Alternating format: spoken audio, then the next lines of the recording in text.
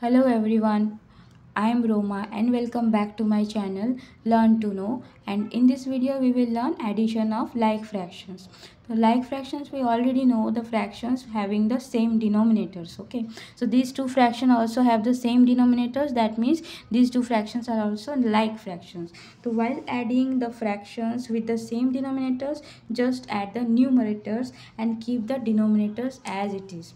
So we have to add the numerator that means we have to add 11 plus 8 and we have to keep the denominator same. Okay 20 and 20 LCM is 20 only.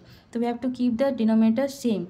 Now 11 plus 8 is how much? 19 and the denominator is 20 so this is the answer of this addition of these two fractions. Simple